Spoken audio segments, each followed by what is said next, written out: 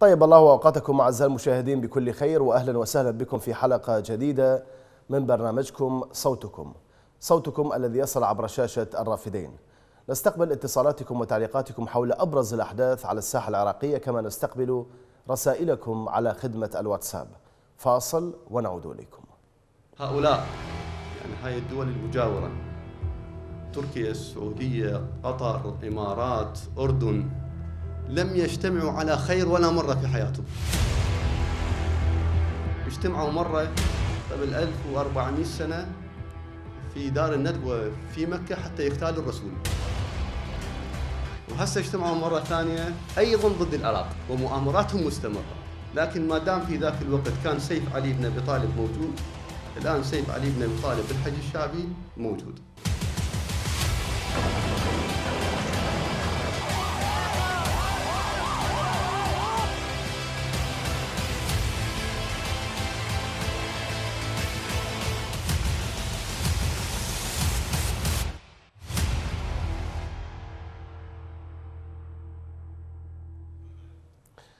أهلا بكم من جديد أعزائي المشاهدين، نتحدث في بداية هذه الحلقة وبالتحديد في الجزء الأول من هذه الحلقة عن موضوع وقضية مهمة وحساسة.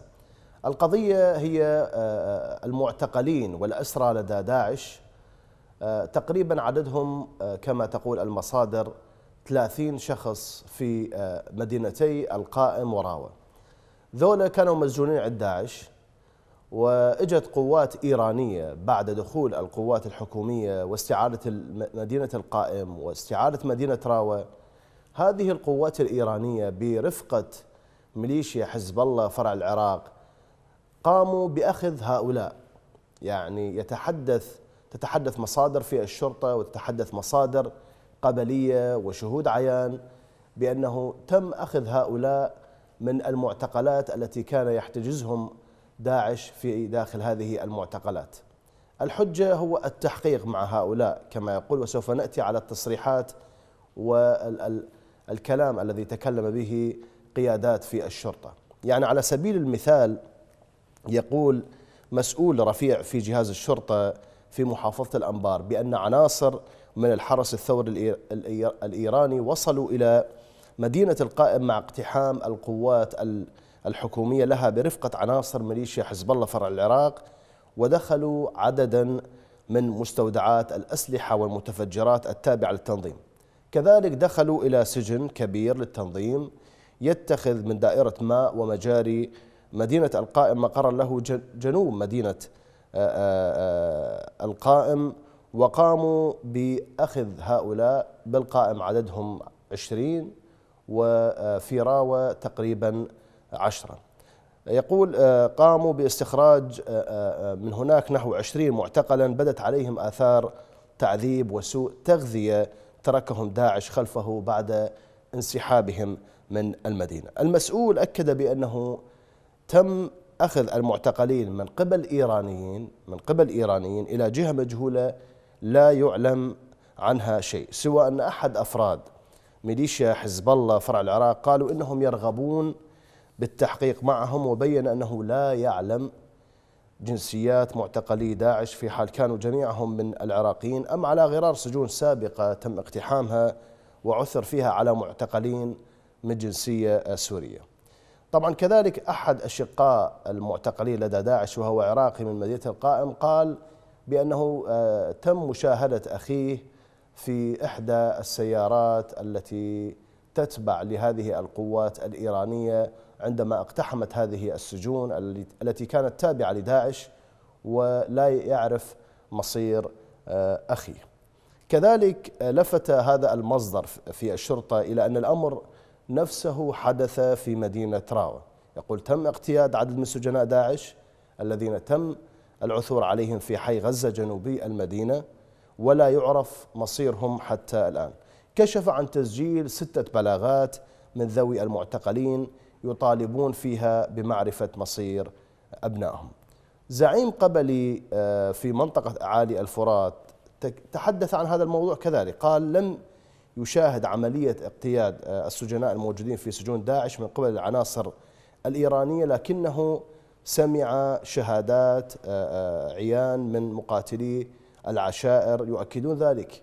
الشيخ أوضح وهو الشيخ سعدون فيصل الشمري أوضح بأن أكثر من مقاتل أكد له ذلك كما أن المعتقلين الذين عثر عليهم يجب أن يكونوا لدى الشرطة والجيش والطرفان أكد أكثر من مرة لذويهم الذين يسألون عنهم أنه لا علم لهما بمصيرهم. يعني عندما يتم آه، استعادة مدينة من قبل القوات الحكومية الجيش الاستخبارات الشرطة آه، إن كان معتقل لدى داعش أو يتم أسر أحد عناصر داعش الأولوية والقانون والمنطق والواقع يقول أنه يجب التحقيق معه من قبل قوات الشرطة والجيش حتى يعرف هذا ليش اعتقله ليش عذبه شنو تهمته. مو تجي قوات إيرانية تابعة للحرس الثوري الإيراني وترافقها ميليشيا حزب الله فرع العراق تقوم بأخذ هؤلاء المعتقلين والحجة والله التحقيق معهم ولغاية الآن لا يعرف مصيرهم. طبعا هذه ليست المرة الأولى ولكن بما أنه تم استعادة مدينة القائم ومدينة راوة في الآونة الأخيرة فهذا موضوع طرح من جديد. وموضوع المعتقلين معتقلي الأنبار وسيطرة الرزازة وصلاح الدين اللي موجودين في سجون في جرف الصخر حدث عنها ولا حرج. حدث عنها ولا حرج تشرف عليها قوات إيرانية وميليشيا من حزب الله آه، فرع العراق. هذا الحديث وهذا الموضوع يطرح تساؤلات. أين هي استخبارات الجيش؟ أين هي قوات الشرطة؟ أين هي آه، الحكومة من هذا الأمر التي لا التي تقوم باستعادة المدينة وتقدم ضحايا من الجنود من الشرطة وبعد ذلك تأتي قوات إيرانية تأخذ المعتقلين الذين كانوا لدى داعش وتقوم بالتحقيق معهم. نريد نستمع لأصواتكم أعزائي المشاهدين حول هذا الموضوع في الجزء الأول من هذه آه، الحلقة. طبعا أحد سكان الأنبار حتى نتكلم على الشهادات شهادات العيان وشهادات من الشرطة ومن الجيش. أحد سكان الأنبار وهو جاسم المعين يقول بأن شقيقه كان معتقلا لدى داعش منذ عامين. بسبب عمله السابق في مديرية الشؤون الداخلية بوزارة الداخلية. أعلن آه، آه، كما يعني آه، فرض عليهم في ذلك الوقت من قبل داعش إعلان التوبة بعد احتلال داعش كما يقول للقام إلا أنهم بعد أسابيع قاموا باعتقاله وكانت أخباره, أخباره تصلنا عبر وسطاء بأنه موجود وأموره مستقرة. بعد استعارة القائم يقول تلقيت اتصال من صهري وهو ضابط في الجيش أكد لي أنه شاهد شقيقي بحالة بحالة طيبة وتم نقلهم إلى ملعب المدينة إلا أنني لم أجد وبعد تتبع وتحري أبلغني عنصر في الحشد الشعبي بأن الحرس الثوري الإيراني أخذوه للتحقيق معه مع آخرين وهو ما أكده أيضا أحد ضباط الجيش بالفرقة السابعة. في الجيش. ذهب يقول ذهبت لأشكو. فقال لي اذهب إلى رئيس الوزراء حيدر العبادي واشتكي له فنحن غير قادرين على فعل شيء لك. فهو عند الإيرانيين. هذا ضابط كبير في الجيش. معنا اتصال. أبو حسن من بغداد. تفضل أبو حسن. أبو حسن. السلام عليكم. وعليكم السلام ورحمة الله. أبو حسن نتح... نتحدث عن عن معتقلين كانوا عند داعش وجاي قوات إيرانية ماخذتهم. نعم. تفضل. أول شيء هذا حيدر حيدر فنجل أو حيدر كنتاكي. هذا يقول لا توجد لدينا أي قوات في هذه الدولة، لعد إيران منين جاية؟ من كوكب من فوق المريخ؟ هاي وحدة. لأن يعني هذا الخنزير اللي يتحدث يقول بالرسالة الإسلامية كان سيف علي كان موجود، سيف علي عدرام السيل هاي معروفة. زين الاتفاق كان صار حتى المعركة الأخيرة كان اتفاق ويا الحكومة على انسحاب داعش من من المناطق الغربية. نعم اسمعني من التلفون أبو حسن اترك التلفزيون الله يخليك. معك يا أخي من التليفون. إي بس الصدى مال التلفزيون ده يرجع. تمام. تفضل. نعم. زين هاي أنا حسب ال- المعلومات تجيني اتفاق مع الحكومة على الانسحاب. وواحد من عندهم قال لي يابا ترى اتفقنا ويا داعش ينسحبون. فداعش هو مرتبط بالحكومة. والله حطيت فكرة. أكو ناس يقعدون لما يقولون تنظيم الدولة. لا تنظيم الدولة صحيح. تنظيم الدولة مال من؟ مال حكومة ال- ال- الحسام اللي جتنا بالعراق دز- دزتهم أمريكا. هي صح تنظيم الدولة. هم بدأ يفهمون الناس ولا تفهم. نعم. هم دول يردون للعراقيين سواء سواء شيعة أو سنة بس السنة يردون بهم أكثر. يعني إذلال إهانة كرامة يعني تحقق الكرامه مال الناس. آه، تجويعهم تشريدهم وأقول لله يعني لله دا اقولها هذول الناس النازحين والله العظيم راح يشوفون المر إذا ما نتحرك إحنا كعراقيين. نعم. وأقول أقول المصر هم فد رساله أعطيها المصر الرئيس رئيس الحكومة المصرية. أقول له هاي ترى شغلة إيرانية طبوا عليكم دينا. لأن ما نسوا مال حسن شحاطة هذا تقرب بالنعل وبالتوازي. هاي عملية إيرانية. خلي يوعون مصر. نعم أبو حسن. أبو حسن من بغداد كان معنا. شكرا لك. إذا الضابط آه، آه، آه، في الفرقة السابعة في الجيش يقول لشقيق المعتقل الذي كان معتقل لدى داعش والآن معتقل لدى القوات الإيرانية ولا يعرف مصيره يقول له روح إلى رئيس الوزراء إحنا ما بيدنا شيء. وإحنا غير قادرين على فعل شيء لك آه، لأن هو عند الايراني لأن هو عند الإيرانيين. عضو آه، آه، في مجلس محافظة الأنبار الحديث في هذا السياق يقول بأن عدد المعتقلين يبلغ العشرات ولا نعرف الغرض من إعادة اعتقالهم من قبل العناصر الإيرانية التي ترافق ميليشيات الحشد، رجح أن يكون رئيس الوزراء حيدر العبادي على علم بالموضوع. طبعا آه، قيادي في ميليشيا بدر وهو آه، أحد آه، وهي إحدى أبرز فصائل الحشد الشعبي عضو البرلمان رزاق محيبس نفى هذا الحديث. يقول إن هذا الكلام عاري عن الصحة وأضاف أن هناك الكثير من الجهات سواء كانت داخلية أو خارجية تعمل وبقوة على تشويه سمعة الحشد وتعكير الانتصار العظيم كما يصفه المتحقق. وهذه الأصوات النشاز تظهر بعد كل انتصار نحققه لذا لا صحة لمثل تلك المعلومات. إذا هذه ما لها صحة فأكو 3000 باعتراف آه، مسؤولين كبار في الحكومة إياد علاوي وهادي العامري وغيرهم أنهم معتقلين في جرف الصخر آه، من المعتقلين آه، من أهالي الأنبار من أهالي صلاح الدين سيطرة الرزازة في جرف الصخر ولغاية الآن لا يعرف مصيرهم. دول هم هذه المعلومات ليس لها يعني صحة. هذا دائما النفي والتكذيب عن الوقائع نسمعه من آه، قيادات في الحكومة. معنا اتصال. أبو مصطفى من الموصل. تفضل أبو مصطفى. السلام عليكم. وعليكم السلام ورحمة الله. استاذي العزيز هذا بالنسبة لل- هذه مرسومة من زمان ما اليوم هي؟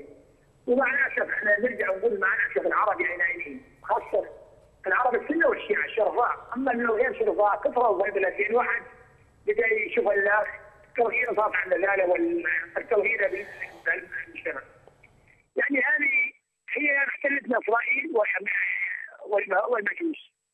يعني واحد يسلم على الله إحنا هذه منتهين منها نعرفها زي حتى يعني كل الشعب يعرفها ولكن اذلوا الشعب خلوا الشعب يخاف من خياله. يعني ما يقدر يتحرك لا يمنى ولا يسلم اليوم يعني الدواعش هم آه، أيضا من قبلهم اللي دمروا حتى ال- المقاومة الشريفه خلوا المقاومة الصحيحه الشريفه يقعد ببيته بعد ما يقدر يتحرك. زين أبو مصطفى أبو مصطفى. نعم. ماشي أبو مصطفى حتى نكون بالموضوع بالتحديد. يعني برأيك أنت إيش عندها هاي القوات الإيرانية تاخذ معتقلين كانوا عند داعش أستاذ عزيز هذول اللي احتمال يقاومون مقاومة شريفة. مو يعني شلون نقول من كل عضو جاي؟ لا لا بيهم بيهم آه، كانوا. منتسبين بالشرطة وبالداخلية بالجيش. من دخل داعش اعتقلهم وخلاهم بهذا السجن.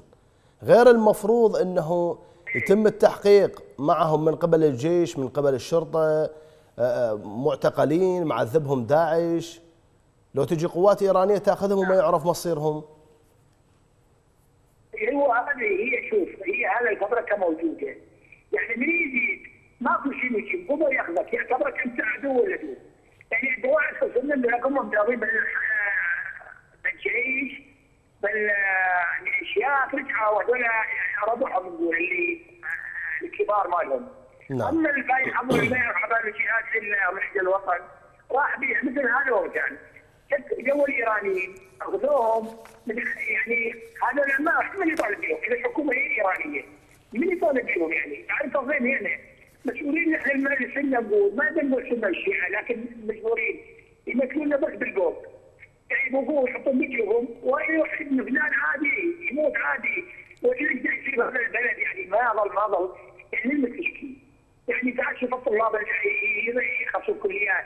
يحافظون معدل يجعلوا يعني على المعاهد يرجعونه ولا معدل شرط اللي عنده بتشاير عنده ولا تلقاه بالكليه زينه وعلى مزاجه واللي عنده ميليشيا هذا مخول مفضل نعم. يعني مع الاسف ما عندنا حكومه صحيحه ابدا ولا تصير اذا ما الشعب كلهم ينجمعون على راي وانه يجيبون هذا الاستعمار بما فيه ايراني اسرائيلي امريكي عراقي نجي سليخان كلهم قطعوا حلال نعم.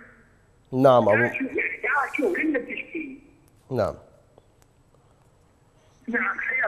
أبو الله مصطفى. نعم. نعم. أنا أشكرك أبو مصطفى كان معنا من الموصل. أعزائي المشاهدين نأخذ هذا الفاصل ونعود إليكم.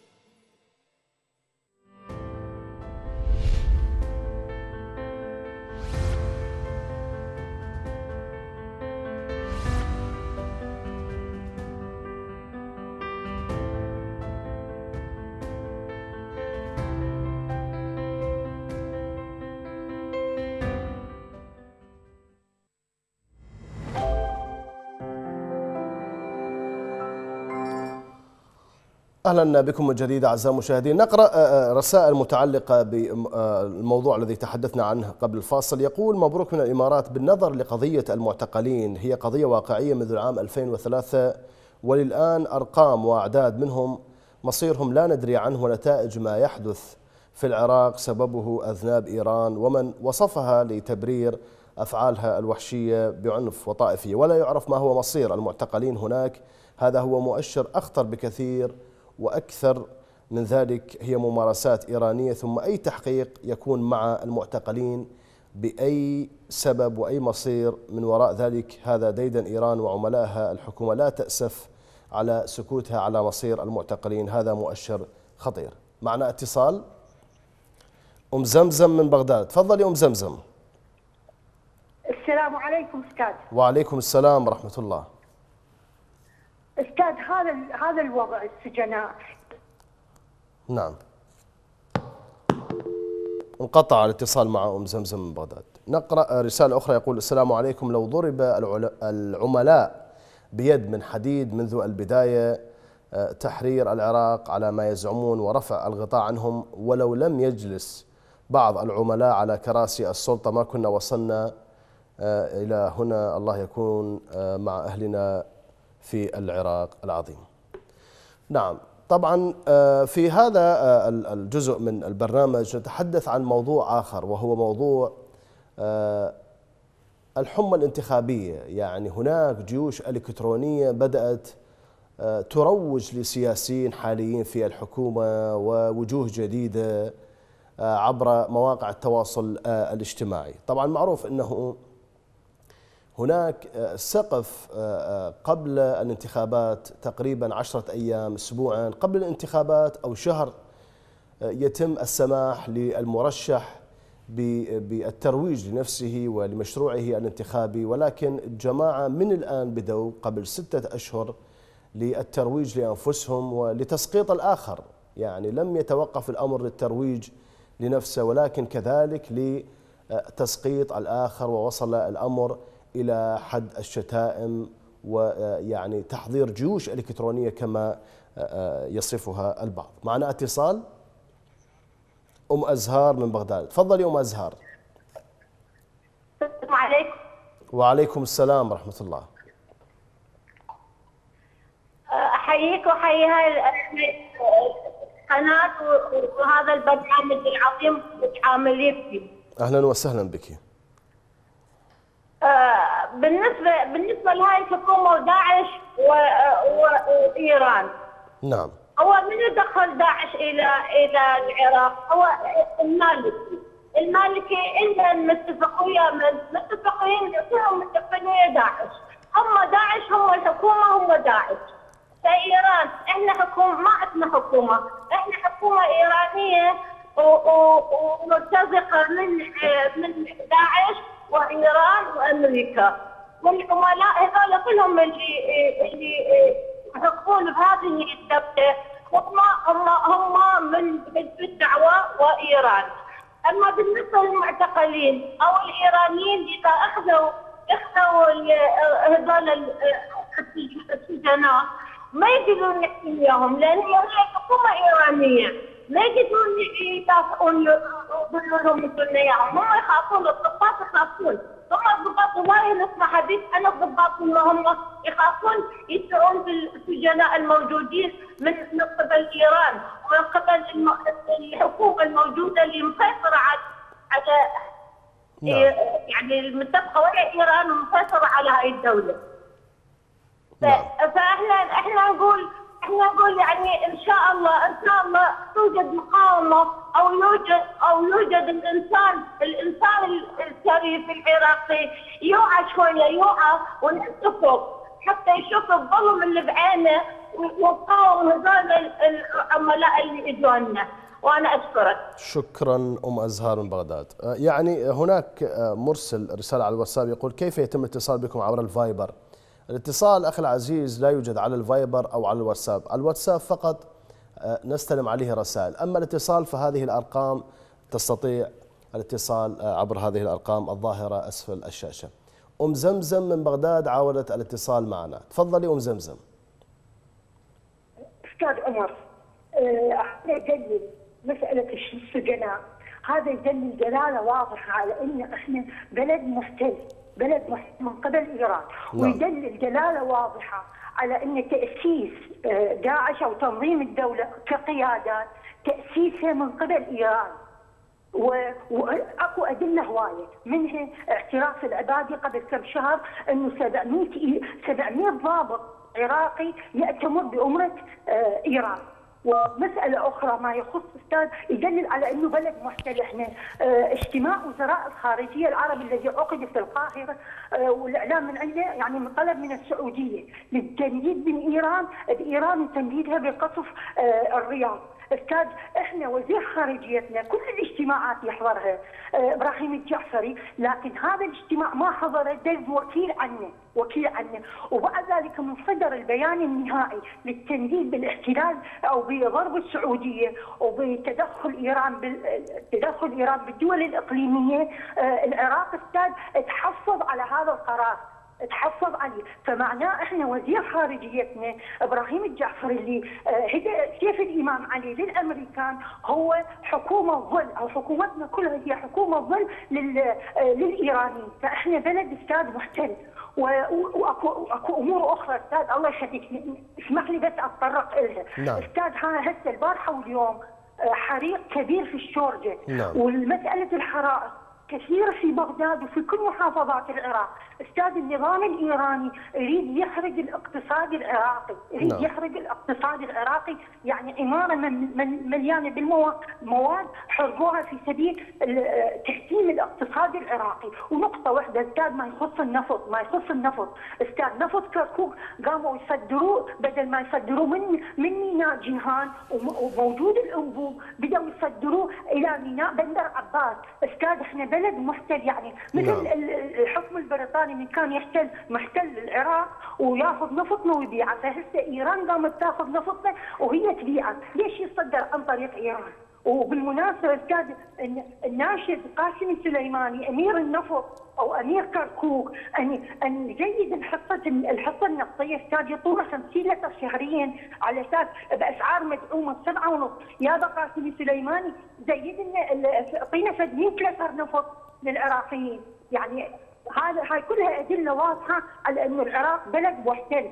وأستاذ آه، كلمة أخيرة إنه اللي يحكم ظاهريا آه، السيد حيدر العبادي. لكن نعم أشكرك أم زمزم من بغداد. شكرا لك. معنا اتصال زهران من السعودية. تفضل زهران. السلام عليكم يا وعليكم السلام ورحمة الله. السجن اللي في سجن داعش لما يأخذهم حزب الله الإيراني يعني إن داعش ثبتت فعليا إنها تبع إيران. طلعوهم من سجون البصرة طلعوهم من سجون أبو غريب. آه، أدوات- ذولا، أدوات آه، زهران. داعش و- زهران إيه، إذا. تسمح لي. ذولا معتقلين عند داعش. بيهم من الشرطة بيهم كانوا من الجيش. معتقلهم داعش وإجت القوات الإيرانية وياها حزب الله وأخذوا ذولا المعتقلين اللي كانوا عند داعش. يعني داعش تبع إيران. يعني داعش تخدم إيران حزب الله يخدم إيران القتلة تبع إيران متى نصححنا يا عرب العرب حنا نقطع بعض في العراق في سوريا في اليمن لصالح الفرس. الفرس ضحكوا العرب الحل الوحده الوطنيه العربيه الاسلاميه حنا العرب مضحوك علينا كل القتلة تبع إيران داعش تبع إيران القاعدة تبع إيران الميليشيات تبع إيران حزب الله حزب الحوثي هذول خونه عملاء يدمر الوطن العربي في صالح إيران. حنا لازم يكون علماء المسلمين وشيوخ القبائل والمثقفين يوعون الشعوب العربية لا تخدم مع داعش لا تخدم مع القاعدة لا تخدم مع الميليشيات. هذول القيادات حوثي نصر الله. أتحداك الآن أمام الشاشة والجميع المشاهدين. هل يوجد في عصر الرسول صلى الله عليه وسلم شخص يلقب بالسيد بموجب الولادة؟ ما عندنا سادة بالإسلام. هذه أسماء عنصرية. سادة يعني أنت سيد والباقيين عبيد. الإسلام حرر الشعوب. حنا العرب أبناء وأحفاد الفاتحين اللي اختارنا الله لخدمة الإسلام. المساواة الحقوق الدفاع عدم الظلم. هؤلاء قتلة. يا أخي يبغى لهم توعية. يا جنوب العراق اجتمعوا مع غرب العراق. اجتمعوا مع بعض. أنتم وسيلة لتدمير البلاد. تدمير أنفسكم. لا في سنة لا في شيعة لا في قاعدة لا في داعش. إلى الدرجة هذا الفرس يضحكون علينا. نقتل بعض. قتل. طيب اللي يعملون في حزب الله تبع مين؟ عراقيين قتل خونه لازم يعرفون إنهم قتل. لازم يعرفوا إنهم يخدموا الفرس. إحنا يبغانا توعية. ما في شيء في الإسلام تقسيم. أمة واحدة. حتى لو أنت مسلم مو من حقك تقتل البشر. هذول قتله ابادوا العراقيين وابادوا السوريين وابادوا اليمنيين وابادوا في ليبيا. موجودين في كل محل. أي قاتل وراء إيران. أي عنصرية وراء إيران. عدو العرب الفرس على مدى التاريخ. هو تشوفهم الآن استقرار تركيا. تركيا مع الجيش الحر وإيران مع حزب بشار. نعم. وفي نفس الوقت أصحابه يتقابلون هم والاتراك ما هم اعداء من يقتل بعض بعض؟ العرب يقتلون بعضهم بعض. ناس مع بشار و- وإيران وناس مع تركيا. ويقتلوا بعض يدمروا سوريا حنا بلدان الآن عدونا الفارسي وكل من يعمل مع القتلة بأي اسم تبع إيران. هذا احتلال فارسي إبادة العرب وتدمير الوطن العربي. وشكرا. زهراء من السعودية كان معنا معنا اتصال آخر أبو ياسين من بغداد. تفضل أبو ياسين. تحياتي لك أخوي إلى قناة الرافدين. حياك الله. أخي طبعا إحنا اتصلنا قبل لا يهجمون الأنبار وغير الأنبار. أخي هي الحكومة منو؟ الحكومة هي داعش وداعش هي الحكومة والأحزاب هي داعش وداعش هي الأحزاب. أخي هم داعش صناعة أمريكية إسرائيلية إيرانية. انت- انتفقوا تصفيه السنة. وإيران والحكومة العميله جابوا داعش للموصل على مود بحجة داعش هدموا كل المحافظات العراق. أخي داعش عمال عند إيران والحكومة عمال عند إيران والأحزاب أيضا عمال عند إيران. أخي هم السنة إيش مهما يلبسون ويخدمون مع هذه الحكومة الإيرانية أو يصيرون شرطة أو جيش هم مستهدفين. مستهدفين إيران من قبل إيران وعمال إيران. أخي إيران إذا ظلت تحكم بالعراق تحكم فيها العراق بقد اللي حكمته أقرأ السلام على العراق وشعبه. قاموا يتفننون بعقوبة العراقيين. وكلام أبو حسن اتصل أول واحد وهو طبعا سبقني بالكلام. نعم. أخي كلامه مضبوط. تخريب مصر تخريب مصر هذه ضربة إسرائيلية أمريكية وبالذات إيران. إيران ما تريد دوله عربيه مستقرة. إيران أفعى سوداء. إيران انقص من أمريكا وإسرائيل وهم يندعون بالإسلام. والإسلام بريء من إيران. هم وعمالهم واني أشكرك أخوي. شكرا أبو ياسين آه، من بغداد.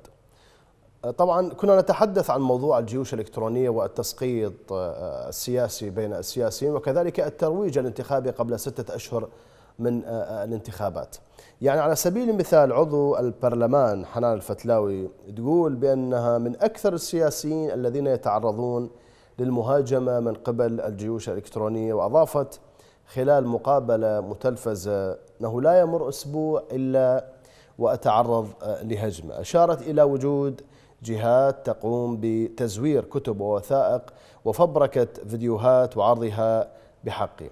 آه، لافتة إلى أن هذه الهجمات مستمرة على مواقع التواصل آه، الاجتماعي كما تقول. طبعا رد عليها فائق الشيخ علي عبر آه، تغريدة على التويتر قال كل مشاكل العراق سببها هذه اللصة وائتلافها وسيدها في إشارة إلى نوري المالكي الذي دخلت حنان الفتلاوي البرلمان بدورته الحالية عبر ائتلافه ائتلاف دولة القانون.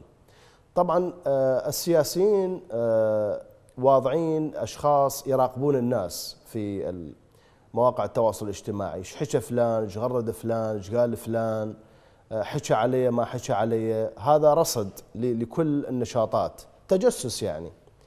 آه، الشغلة الثانية هو التسقيط.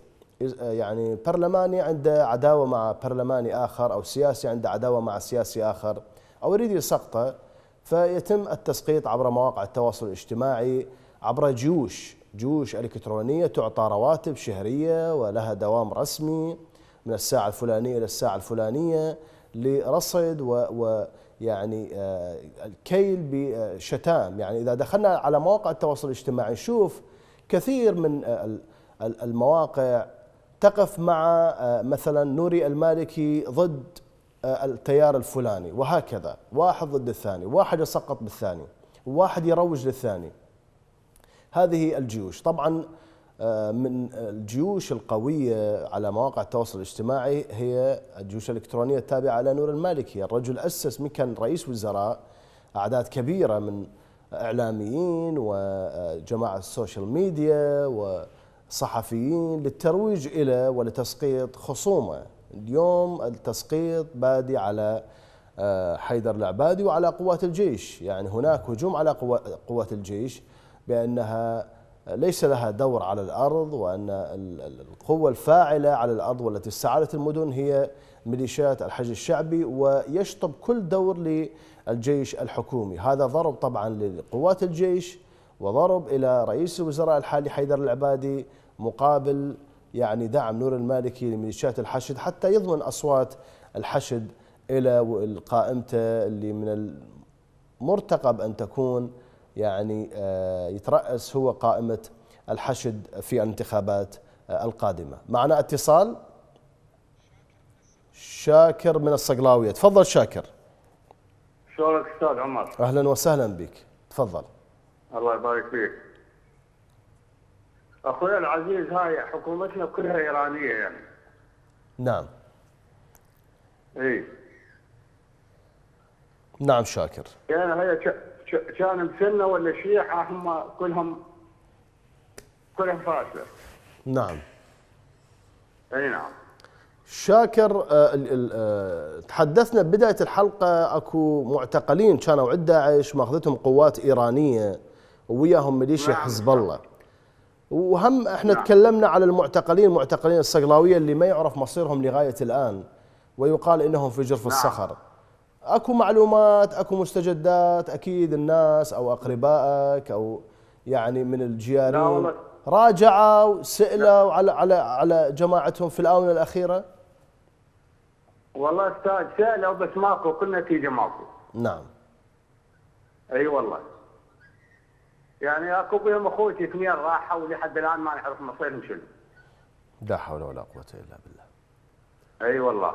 نعم. شلون وضعكم شاكر بالصقلاويه والله الحمد لله يعني ماشي تقريبا ماشي الحال. ماشي الحال. عندك شيء تضيفه تفضل والله. سولف. لا تعيش سلامتك الله يسلمك. شاكر من الصقلاوية كان آه، معنا. نعم.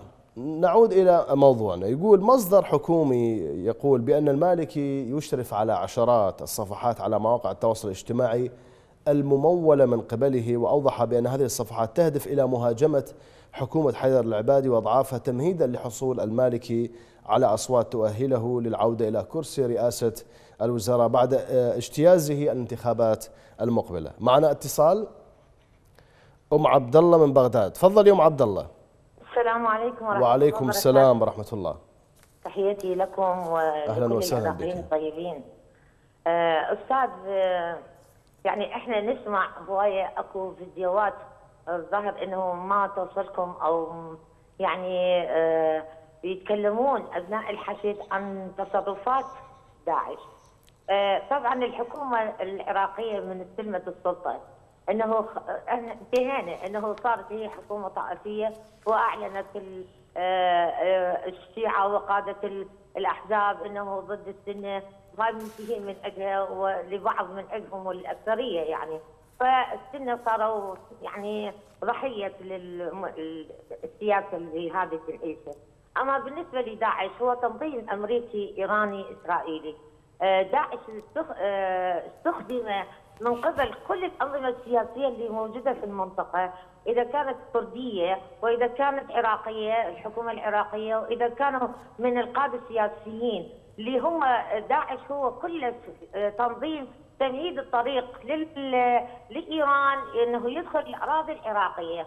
وص- وهذا ما حدث في منطقة كردستان قبل أكثر من ثلاث سنوات وصار في منطقة الموصل أنه فسحوا المجال للحشد أن يدخل ويعني أعتقد إنه حتى الأقضية السياسية مثلا مسعود القزني حتى يتصل بقادة داعش وأنه يقوم عملية إخلاء المناطق لبعض الأنظمة السياسية وخاصة الإيرانية.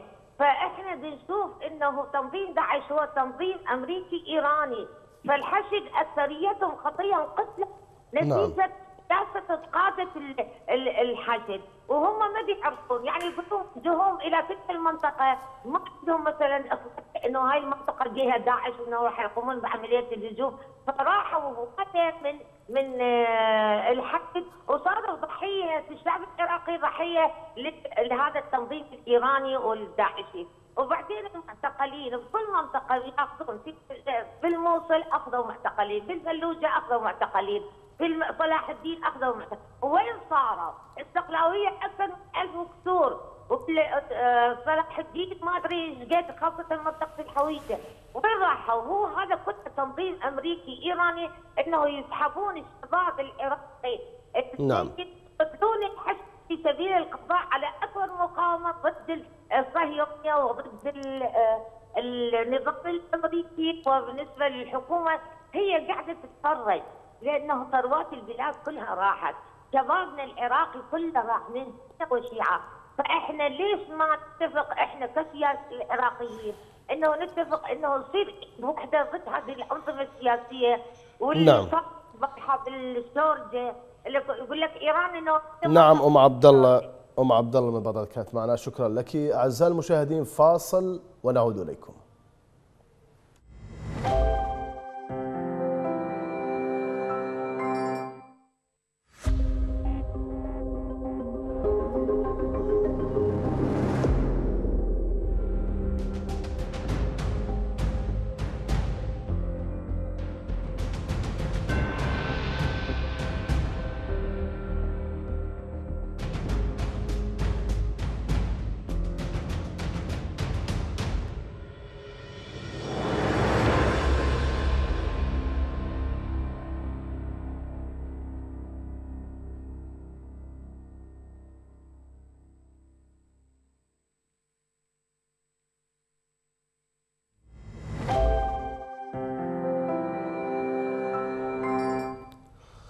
أهلا بكم من جديد أعزائي المشاهدين معنا اتصال عقيل من فرنسا. تفضل عقيل. عقيل؟ انقطع الاتصال مع عقيل من فرنسا. يقول إحنا كنا نتحدث عن تصريحات لمصدر حكومي يتكلم عن الجيوش الإلكترونية. يقول بأن المالكي كان رئيسا عندما كان رئيس الوزراء قام بتجنيد فريق من آه، الإعلاميين والمحللين السياسيين والناشطين. ليكونوا عينه ولسانه في مواقع التواصل الاجتماعي.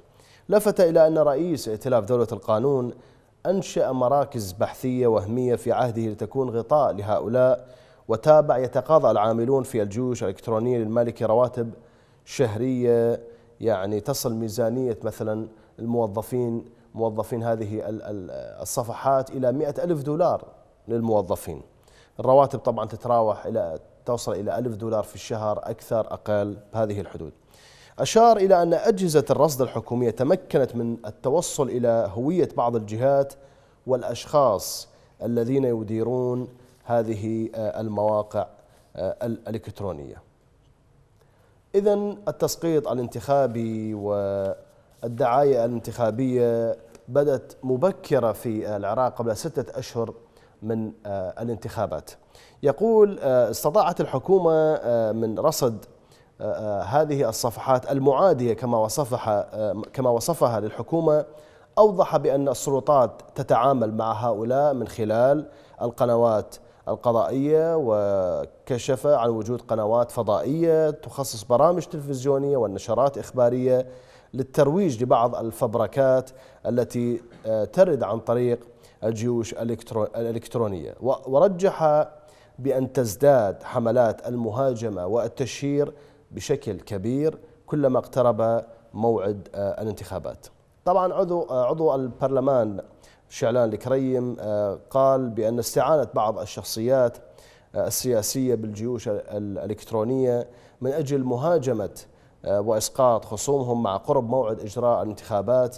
أوضح في تصريح صحفي بأن الحرب الكلامية بين السياسيين بدأت مبكرة بالتزامن مع التحضير للانتخابات وأشار إلى أن السياسيين بدأوا بعمليات إسقاط سياسي مع بعضهم مستخدمة آه، آه، جيوش إلكترونية على مواقع التواصل الاجتماعي من أجل إثبات وجودهم على حساب تحطيم شخصيات أخرى واعتبر أن استخدام مثل هذه الأساليب يتنافى مع الأخلاق السياسية آه، الصحيحة. طبعا ليس فقط على مواقع التواصل الاجتماعي كذلك على الأرض. يعني نسمع مثلا والله العشيرة الفلانية سوت المؤتمر الشبابي الفلاني ونجح هذا المؤتمر ومن آه، أجل توعية الشباب وإلى آخره. وهو بالواقع هو ترويج لشخص حتى يدخل الانتخابات أو حتى يستمر في منصبه الحالي.